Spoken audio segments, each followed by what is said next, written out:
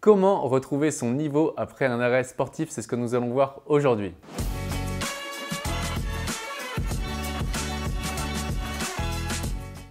Bonjour, ici Pierre, fondateur de l'Académie de la Haute Performance. On accompagne des sportifs et entrepreneurs à gagner confiance, gagner sérénité, se libérer de la peur d'échouer et battre le record personnel.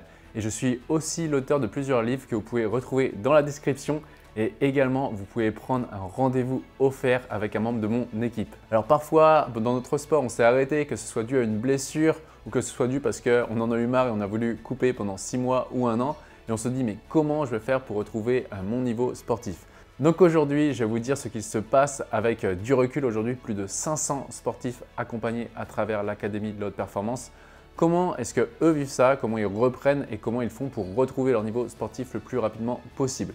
Donc la première étape déjà, c'est un, de savoir que votre corps, votre corps a une mémoire cellulaire. ok? Votre corps a une mémoire cellulaire, ce qui fait que lorsque vous êtes entraîné pendant un certain temps dans votre vie, vous avez tellement automatisé les choses que votre corps en fait a toujours la mémoire cellulaire. Du coup, vous allez reprendre la compétition, vos automatismes vont toujours être présents. Donc il faut énormément de temps pour perdre un automatisme et vous allez voir qu'en retour de compétition ou en retour à l'entraînement, bah, finalement les gestes seront là.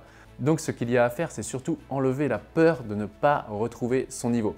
Ce n'est pas le fait de retrouver son niveau qui est un problème, mais c'est le fait d'avoir peur de ne pas retrouver son niveau. À titre d'exemple, moi-même à l'époque, j'ai arrêté bah, un an le sport une fois, puis quatre, ans le sport de haut niveau, et en plus j'ai eu une blessure des ligaments décroisés euh, entre-temps. Et pour autant, en fait, à chaque fois, au fond de moi, j'avais la certitude j'allais retrouver mon niveau. En fait, il n'y avait pas moyen que ce soit autrement. Et grâce à cette certitude-là, je pense que c'est ce qui a fait que bah, en fait, je suis revenu à chaque fois, malgré le temps d'arrêt, au même niveau qu'avant, si ce n'est pas un peu mieux, parce que j'avais plus d'expérience, plus de recul et peut-être plus de euh, sagesse dans mon sport. Et là en tête, quand je pense à ça, je pense aussi à un autre sportif qui a eu une blessure et qui a été arrêté pendant un an, obligé d'arrêter son sport totalement.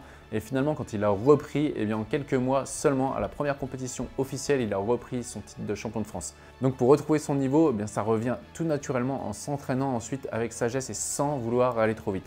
Et ensuite, le deuxième point pour pouvoir retrouver votre niveau après un arrêt sportif, c'est de faire de la visualisation. Alors nous, à l'Académie de l'Haute Performance, c'est vrai que normalement, on fait la dépolarisation avant la visualisation. Mais là, quand il y a une blessure, eh c'est important d'utiliser cet outil de visualisation que je trouve magnifique, que je trouve génial parce que ça va continuer de stimuler votre cerveau qui lui-même va continuer euh, de stimuler votre corps et afin qu'il croit que vous êtes toujours en train de vous entraîner.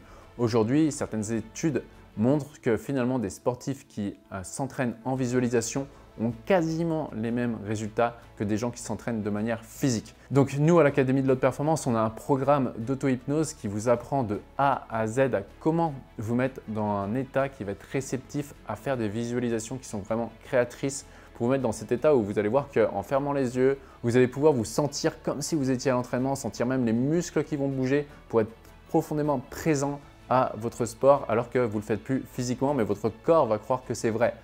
Rappelez-vous, quand vous faites des rêves, parfois vous vous réveillez dans la nuit, vous croyez que c'était vrai, vous êtes en sueur et pourtant bah, vous n'avez pas bougé, vous étiez allongé dans votre lit. Donc le corps croyait vraiment que c'était vrai. si vous voulez retrouver votre niveau en sport, simplement ayez confiance que ça va revenir, que votre corps a la mémoire cellulaire et de visualiser à fond comme si vous étiez déjà présent, faites des visualisations tous les jours et vous verrez que votre niveau, vous pouvez même l'améliorer juste par les visualisations. Et ensuite, bah, reprenez en vous entraînant avec sagesse en ayant confiance qu'à long terme, vous allez récupérer votre niveau.